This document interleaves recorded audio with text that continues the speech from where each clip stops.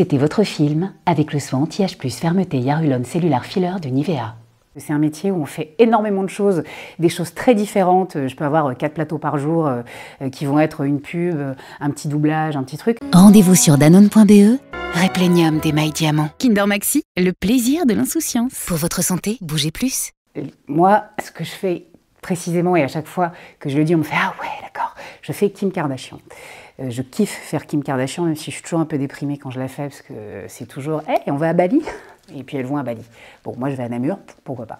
Alors Kim Kardashian, elle a un truc, c'est qu'elle a quelque chose de très lent, très lent, de très sensuel. En fait, elle a l'air toujours endormie. Euh, voilà. À part quand elle pète un câble avec ses sœurs. Il n'y a rien de mieux que lorsqu'on est tout ensemble.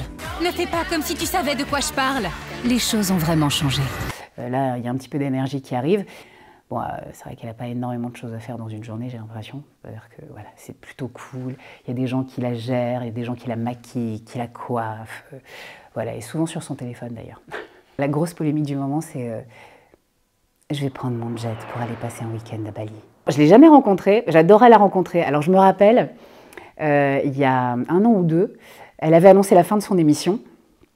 Euh, donc nous, pour les comédiens, c'était une catastrophe parce que tous ceux qui font euh, la famille Kardashian, donc c'est une bande de comédiens, euh, c'est notre, métier. Donc voilà, c'est un rendez-vous mensuel qui arrive régulièrement, donc c'est du travail régulier. Et quand elle a annoncé qu'elle arrêtait son émission, je lui avais envoyé un petit message sur Instagram en disant en anglais Please don't stop, I am your French voice, voilà, hashtag chômage.